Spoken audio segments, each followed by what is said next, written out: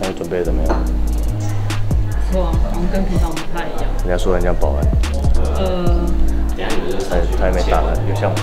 呃，蛮像的。或是那个阿滚，夜店公关，哎，这里情况，证件，证件看一下，没有了，没有证件。真的像吗？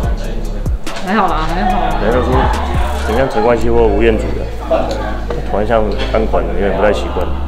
那看对面那两个，对面那两个像吗？对面那两个像的同事，是徐东也是显出来，你这样会很像他们的保安。好变成这样，他到处给人看，不要靠近。啊，我眼睛好重。我在练习笑，你看，我在笑不笑？在他那练习好像没什么好，没什么帮助，很憨的。还是不要笑。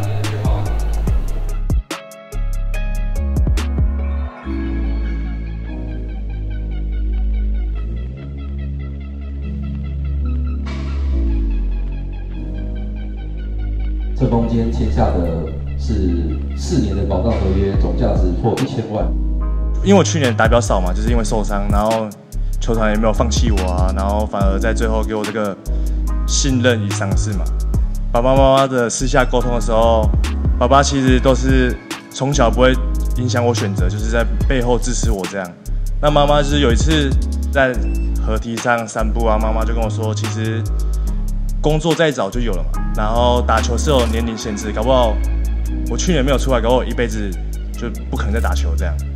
然后不要到三四十岁才来后悔说当初为什么没有选择打球这样。对，跟伟哥一样，其实我们过去都是属于说在篮球圈比较边缘的角色，或者是说不稳，不让人家肯定，人家可能对你来说没有太大兴趣，但我们就会想要试，没有什么机会，想要试着去找机会，自己让自己提升，可以在那个篮球圈站稳。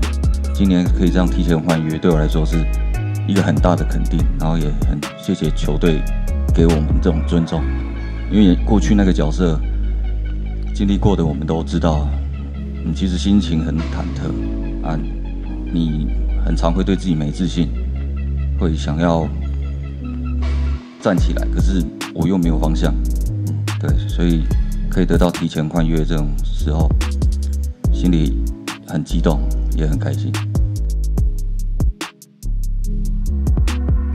我觉得有点受宠若惊，因为往年在球季结束后，我就要忙着再找下一个球队去那个享受那个试训的那个结果。毕竟篮球让人嘛，这试训就是一个我的人生都很重要的一个环节。但今年提前呃续约，我觉得对我来讲算是一个很大的肯定，证明我在球场上的这个表现，桃园云豹是给我一个最大的支持与肯定。当然，自己也不排除有机会的话嘛，也是可以在云豹担任这个所谓的助理教练这部分。毕竟宝哥身上，我也可以从他身上挖到很多宝，而且宝哥是在台湾数一数二算呃很出名的教练，我觉得我可以在他身上学到很多东西。